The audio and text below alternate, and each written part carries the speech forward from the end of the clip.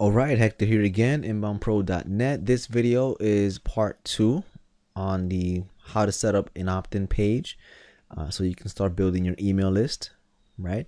Uh, in this video, I'm going to show you how to upload those the files that we edited in part one using the HTML editor.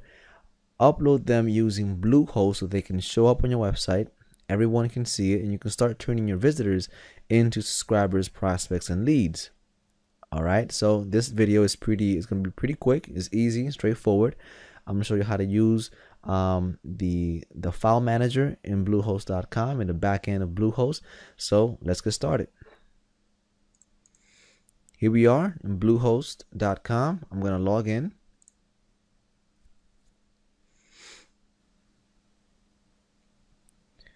All right great. We're to scroll down. File management click on file manager click on go. Here we are. Awesome. You're going to see a list right here to the side. You're going to go to publish uh, public HTML you're going to open that up. So I'm going to be doing it on my main domain and the actual uh, page that I'm going to be creating and this is very important the actual page I'm going to write it right here is going to be inboundpro.net forward slash landing right? Like landing page. So I need to create a new folder in the file manager called landing and put the opt-in page that I edited inside this folder. So that's what we're going to be doing right now. So you need to figure out what you want your page to be so you can create this folder right now. So let's go do that. So I'm going to go up here, click on new folder. I'm going to call it landing, create new folder. I will go into landing. Oops, I got to click it on the side here. So the directory is empty. Great.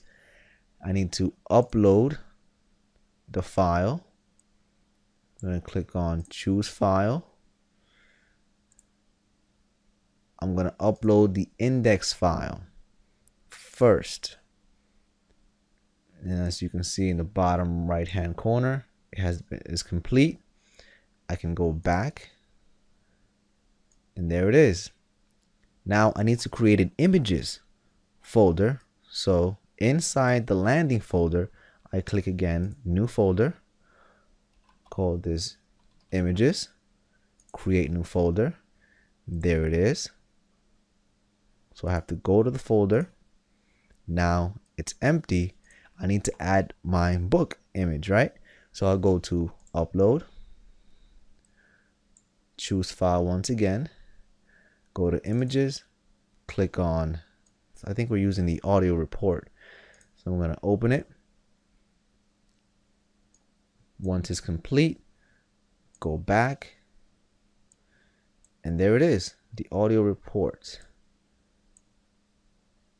So I created the page, right? The landing page folder.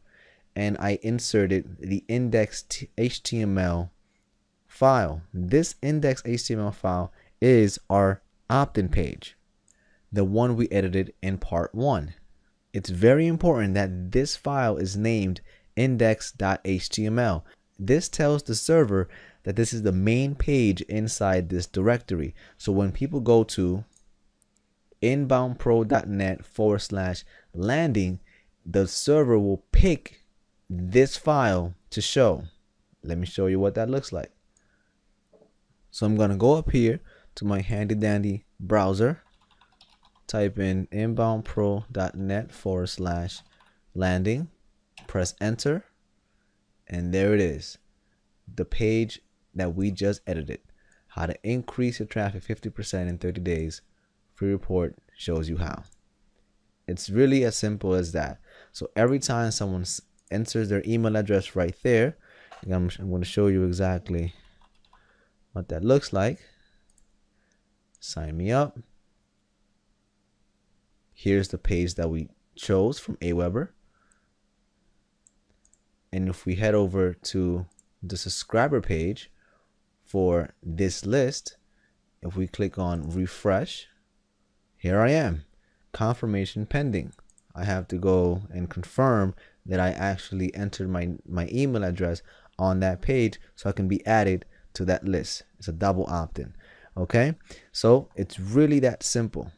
The more people you send over to this page, the more and more your list will grow. I hope you found this useful. If you did, let me know in the comments. Uh, share the video, and um, I'll see you next time. Take care. Bye.